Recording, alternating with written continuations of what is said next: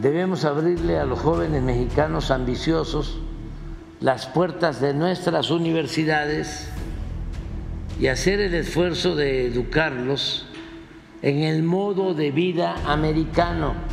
México necesita administradores competentes y con el tiempo esos jóvenes llegarán a ocupar cargos importantes y eventualmente se adueñarán de la misma presidencia. Y sin necesidad de que Estados Unidos gaste un centavo o dispare un tiro, harán lo que queramos y lo harán mejor y más radicalmente que lo que nosotros mismos podríamos haberlo hecho. El presidente de México, Andrés Manuel López Obrador, exhibe en la conferencia mañanera una carta de los Estados Unidos donde revelaba el plan para dominar a México sin gastar un solo tiro. Y esto se da a conocer luego de que el Departamento de Estados de la Unión Americana publique resultados sobre derechos humanos en México.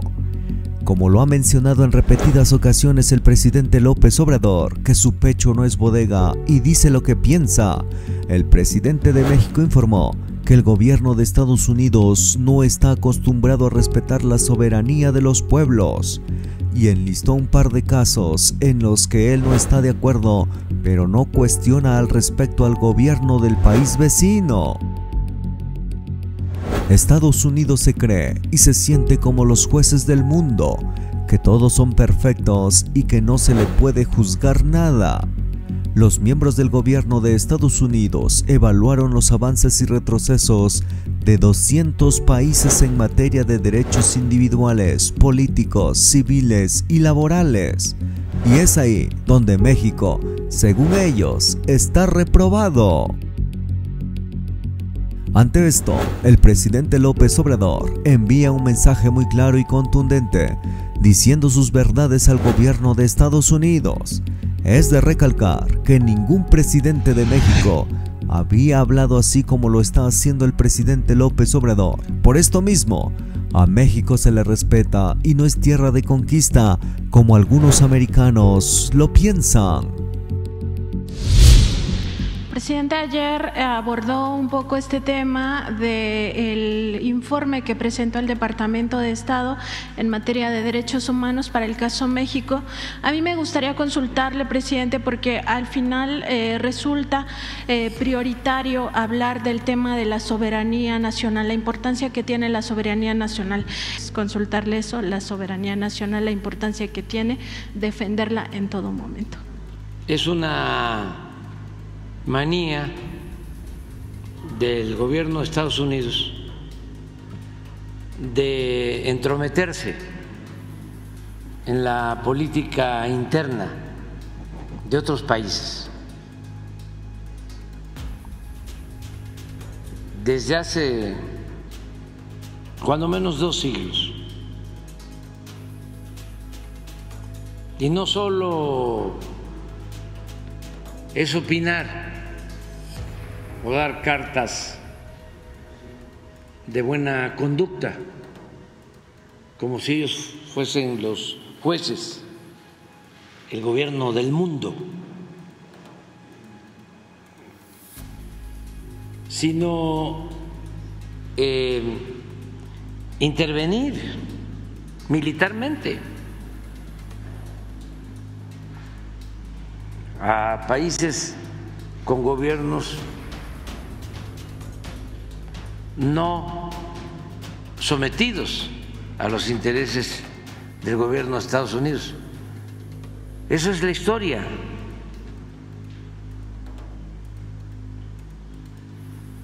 Ellos antes ponían y quitaban presidentes a su antojo. Esa es la historia de los pueblos de América Latina. Bueno, nuestra historia. Dos veces nos invadieron. Y en una ocasión, pues se quedaron con más de la mitad de nuestro territorio.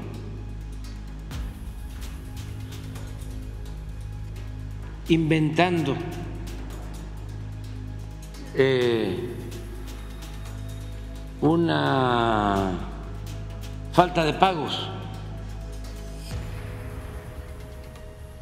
El Congreso en Washington aprobó la guerra contra México. Y un presidente Polk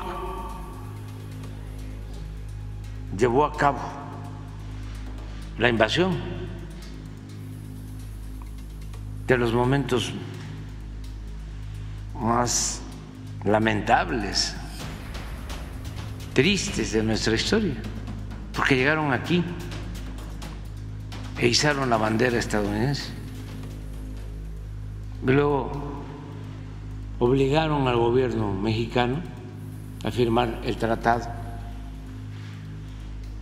Guadalupe Hidalgo para entregarles nueve estados de la Unión Americana que pertenecían a México. Acabo de estar en Veracruz el domingo porque se conmemoraron los 110 años de la segunda invasión de Estados Unidos a México, 1914. Tardaron siete meses en nuestro territorio. y pues siempre ha actuado así. Nosotros hemos insistido mucho, y lo vamos a seguir haciendo, en que deben de cambiar su política exterior. Han habido momentos pocos, pero muy importantes, de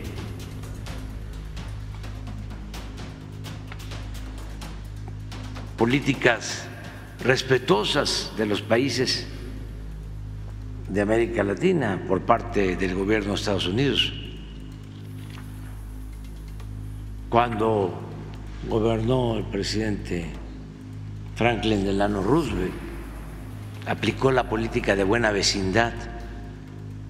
Llegó el poeta Pablo Neruda a llamarlo el titán de las libertades.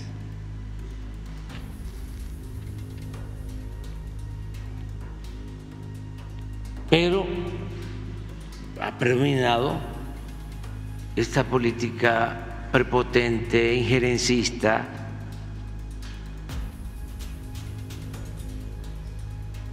que es lo que todavía se refleja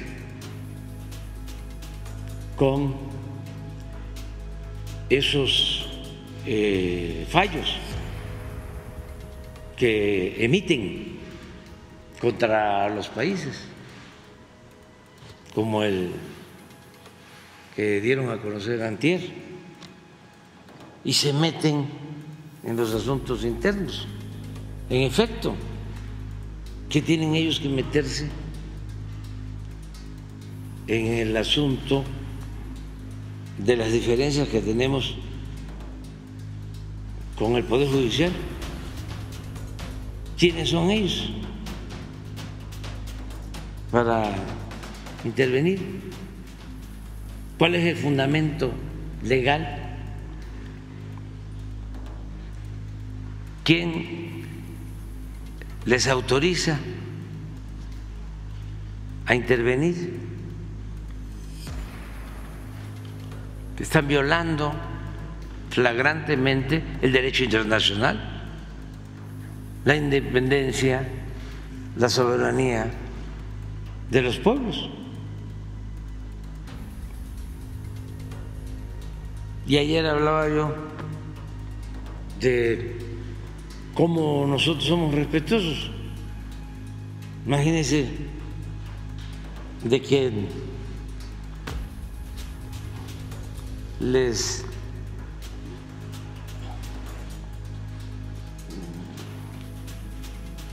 declaremos que violan los derechos humanos y los derechos políticos y las libertades y que ya la Estatua de la Libertad es como un símbolo vacío,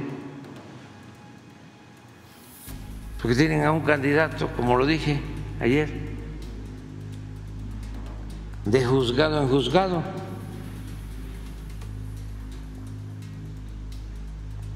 ¿O cómo van a hablar de derechos humanos si ellos destinan miles de millones de dólares a la guerra.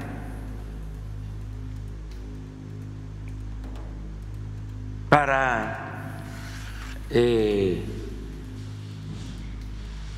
la muerte de inocentes en todos los países del mundo donde hay confrontación.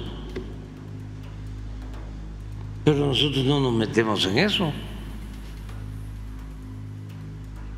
¿O por qué no liberan a Sánchez? ¿Dónde está la libertad y la libre manifestación de las ideas? ¿Y cómo es que destinan tanto dinero a la guerra y no destinan fondos, recursos para atender a sus jóvenes que están padeciendo? por el consumo de drogas, que lamentablemente fallecen 100 mil jóvenes cada año por el consumo de fentanilo.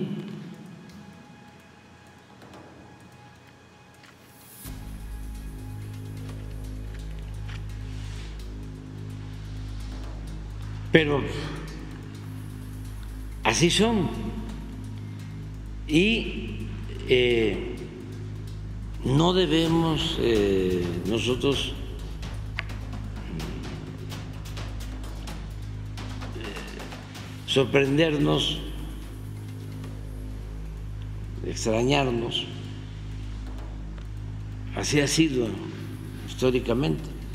Y eso también, con todo respeto, indica de que están estancados, anquilosados. En decadencia, porque tienen que renovarse.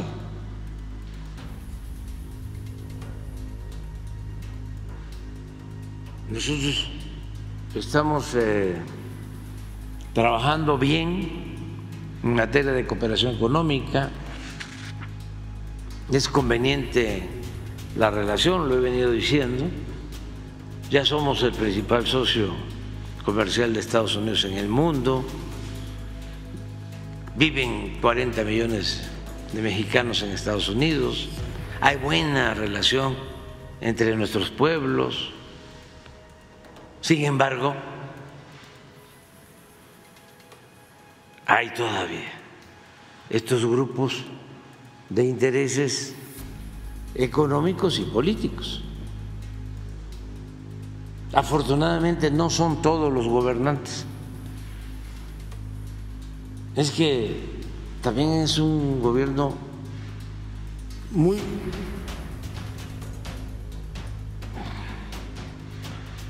pulverizado. La democracia eh, es sinónimo de diversidad, de pluralidad pero en Estados Unidos eh,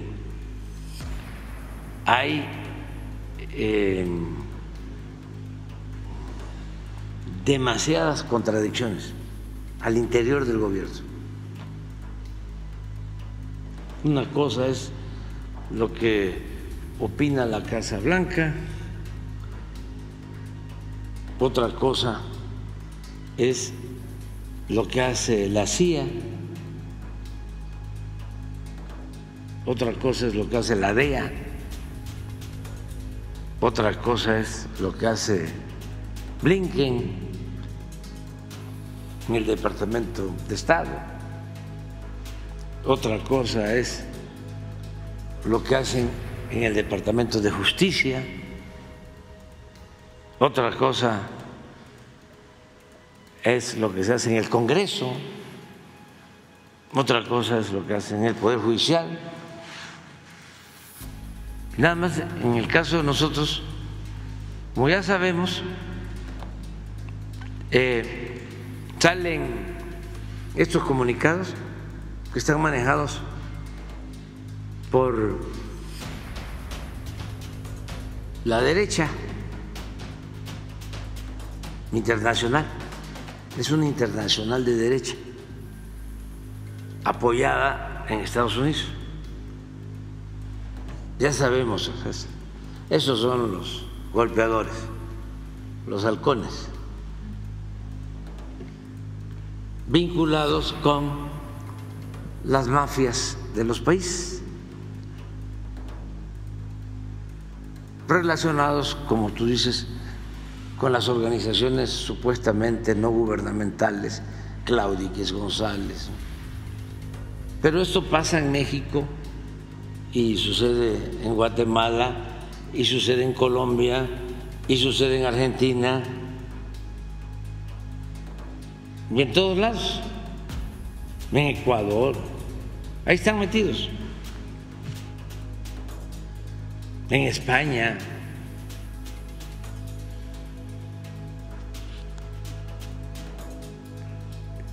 Entonces, como ya sabemos,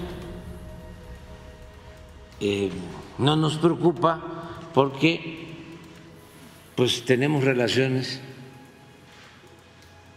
con los que tienen una política de respeto a México y entre ellos incluyo al presidente Biden.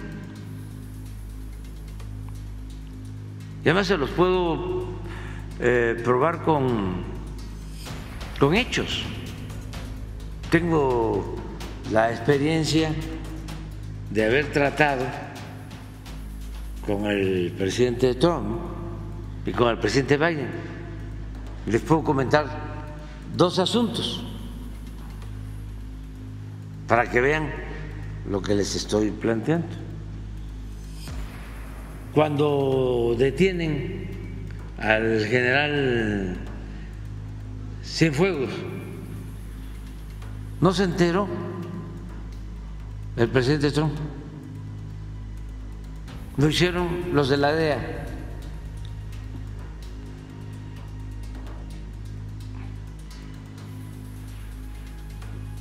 Claro, eh, en una circunstancia especial venían unas elecciones en Estados Unidos, como ahora. Y lo que querían era confrontarnos.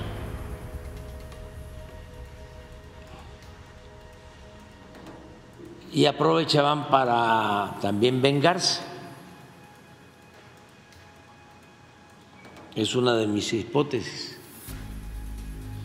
Porque cuando Calderón a este grupo de golpeadores irrespetuosos de las soberanías, se les permitió que se metieran en México eh, violando nuestra soberanía. Desde la Embajada de Estados Unidos en México, en el tiempo de Calderón, se daban las órdenes a las Fuerzas Armadas en particular a la Secretaría de Marina, y a García Luna y a todos los que tenía Calderón supuestamente combatiendo el narcotráfico. Pero las órdenes, la oficina central estaba en la embajada de Estados Unidos.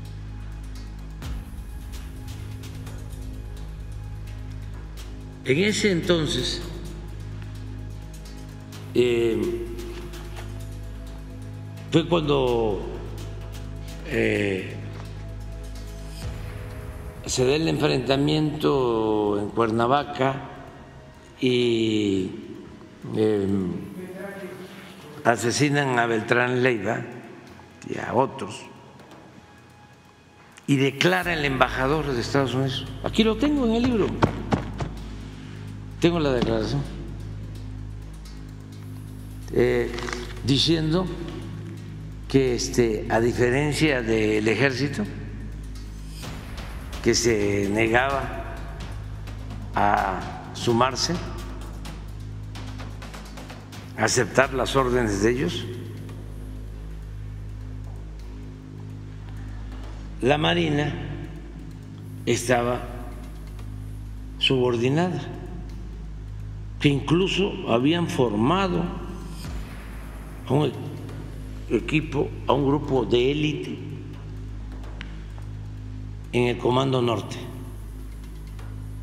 un grupo de élite de la Marina en el Comando Norte. Sí, además, no, no, no, no. Estoy hablando de las órdenes. Y desde luego toda la cuestión de la inteligencia manejada por eso. Entonces por eso hablo, como hubo resistencias de parte del ejército, que lo de Cienfuegos pudo ser una represalia. Y también se da en el momento en que hay elecciones. Y pues yo le mando a decir al presidente Trump que no estaba de acuerdo con ese procedimiento. Nos avisaron cinco minutos eh, antes de la detención. Se supone que eh, había cooperación. Y de inmediato intervino el presidente Ahí supe que no estaba informado. Y tomaron decisiones, se indagó en el Departamento de Justicia de Estados Unidos y les pedimos que nos enviaran el expediente. Le solicité a Marcelo Ebrard, que era secretario de Relaciones Exteriores, cuando nos mandaron el expediente, de que lo analizara, lo leyera, todo un fin de semana, y encontró de que no habían pruebas. Todo lo habían fabricado. Y pasamos, ya ellos ya sabían en Estados Unidos, y pasamos ese expediente a la Fiscalía. Y ese expediente lo pueden consultar todos, porque nuestros adversarios iban a decir, el presidente protege a narcotraficantes. No, nosotros eh, no aceptamos que se fabriquen delitos. Además, no solo era un asunto del general Cienfuegos, era el secretario de la Defensa de México de socavar a una institución del Estado mexicano y sin elementos y sin pruebas. Entonces, eh, se aclaró de que pues no había elementos lo revisó la fiscalía. Ah, pero como iban a decir, repito, de que yo estaba encubriendo, tomé la decisión de dar a conocer el expediente completo. Y eso me llevó otro pleito con los abogados, que son muy ortodoxos y que siempre hablan de que por el debido proceso, ¿cómo es que le llaman a eso? El debido pretexto. Este, no puedes dar a conocer los nombres. Entonces tienes que testar, tienes que tachar nombres. Imagínense, subo un expediente como ese, testado, borrado los nombres, es peor, peor. Entonces fue una lucha interna de los abogados y este subió el expediente. Y ya como está lo pueden consultar ahora todavía. Eh, pues es evidente que lo armaron que lo fabricaron entonces me consta de cómo actúan recientemente pasó lo de Ecuador tengo información que el Departamento de Estado está ayudando en un plan para combatir el narcotráfico en Ecuador, como el Plan Colombia, como el Plan Mérida. Entonces, asaltan nuestra embajada, es una flagrante violación a nuestra soberanía, al derecho internacional. Y eso fue el viernes en la noche, hasta el sábado por la tarde aparece un comunicado insustancial del Departamento de Estado, contradictorio, ambiguo.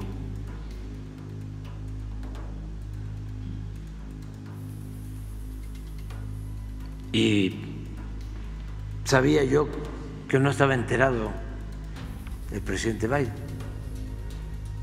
que habían tomado la decisión en el Departamento de Estado. Entonces, por eso dimos a conocer el video. Y se lo mandé al presidente.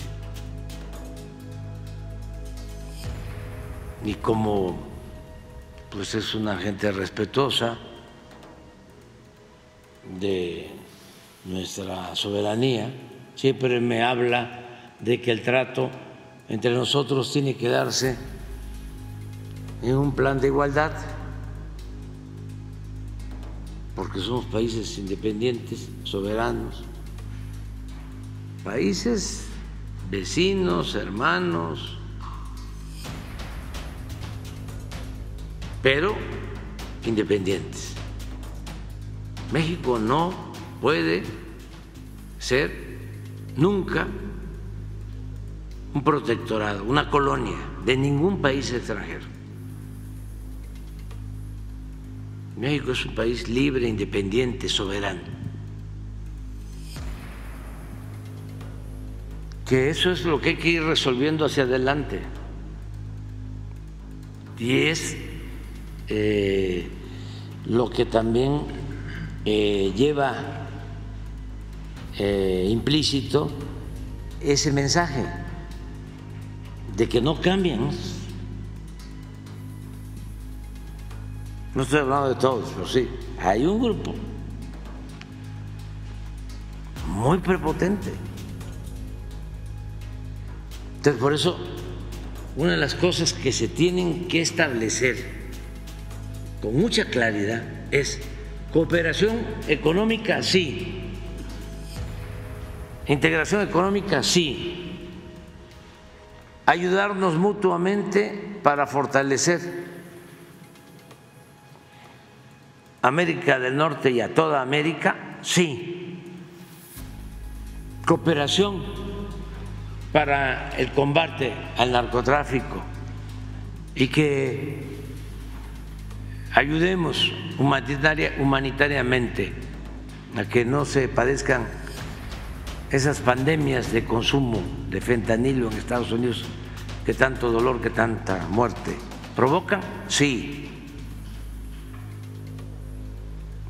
Eh, buscar soluciones de fondo al problema, al fenómeno migratorio, sí. Pero respeto a la soberanía. ¿Qué no se puede? ¿Qué no vamos a admitir? O sea, ¿cómo pintamos la raya? Eso es interesante irlo definiendo hacia adelante y hay condiciones porque el presidente Biden eh, es, repito, respetuoso y vale más hablar así, con mucha eh, claridad. Pero, por ejemplo, el financiamiento a organizaciones como las de Claudio X González, no. ¿Cómo se va a financiar?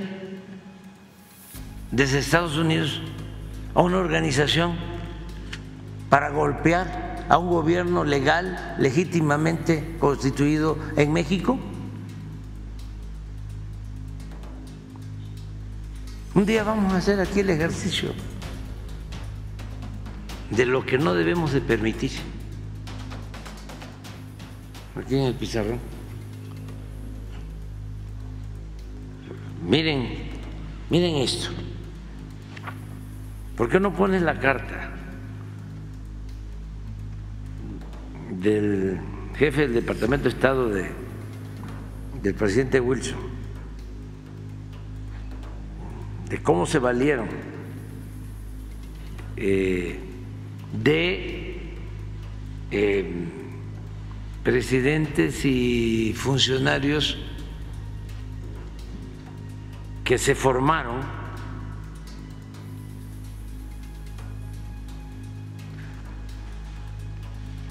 en las universidades de Estados Unidos. Y son los que ahora todavía les ayudan. Son los que tienen relaciones con estos grupos. Pero esa carta es eh, profética a ver si la encuentras. Em, todo esto para los jóvenes, porque ya hablábamos que nos invaden en el 47, nos invaden en 1914.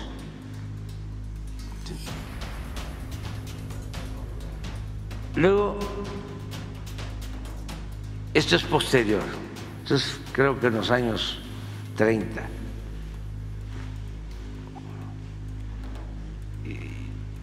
Y fíjense el cambio de, la doctrina Monroe del presidente Monroe que le pide al presidente, expresidente Jefferson, un consejo sobre cómo resolver esto en el siglo XIX al inicio las relaciones de Estados Unidos con el mundo. Y le dice, pues hay que cuidar nuestro espacio vital y de ahí surge la famosa frase América para los americanos. Pero de, de esa frase de la doctrina de Monroe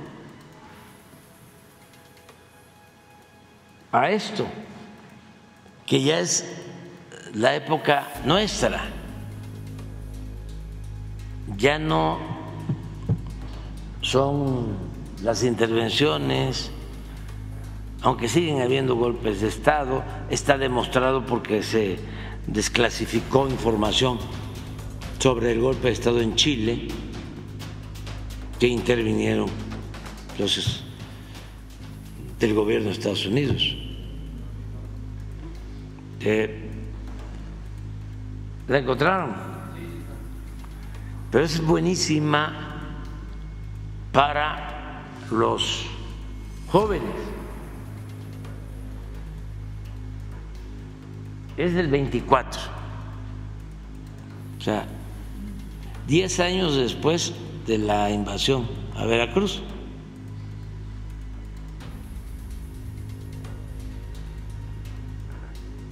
Robert Lansing era secretario de Estado del presidente Wilson. Y mira lo que le recomienda. Tenemos que abandonar la idea de poner en la presidencia mexicana a un ciudadano americano, ya que eso conducirá o conduciría otra vez a la guerra. La solución necesita de más tiempo. Debemos abrirle a los jóvenes mexicanos ambiciosos las puertas de nuestras universidades y hacer el esfuerzo de educarlos en el modo de vida americano, en nuestros valores y en el respeto del liderazgo de Estados Unidos.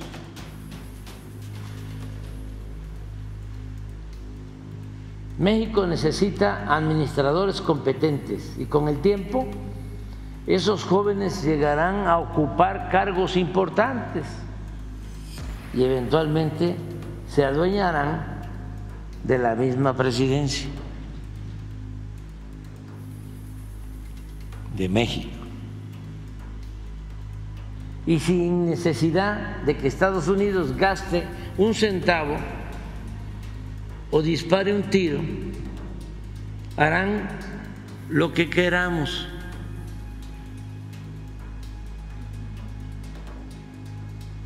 y lo harán mejor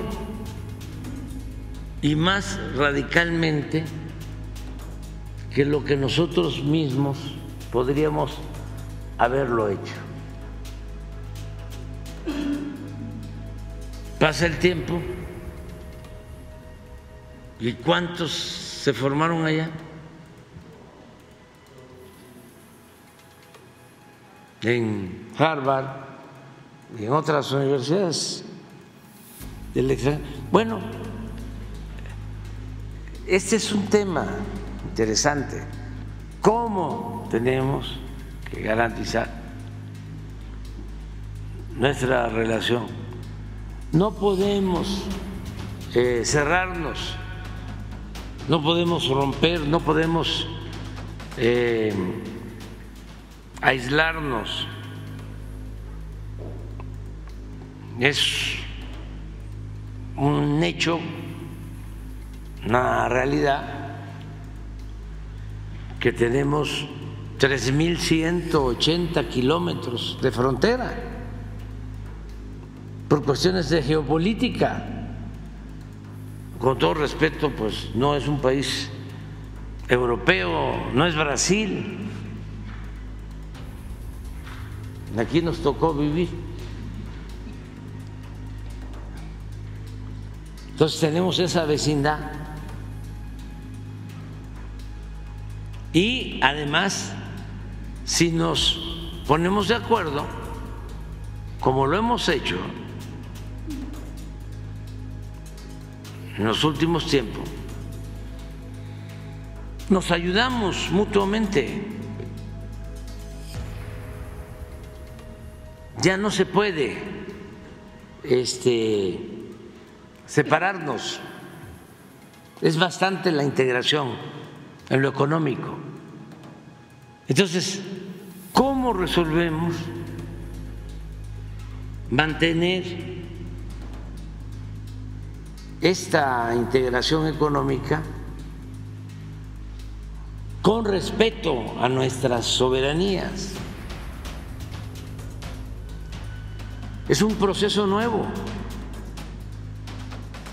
¿Cómo hacerlo enfrentando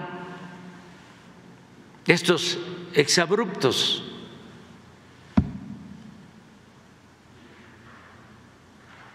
¿Cómo los vamos convenciendo? ¿Cómo se va persuadiendo a todos ellos de que tienen que actuar con respeto, aprender a respetar.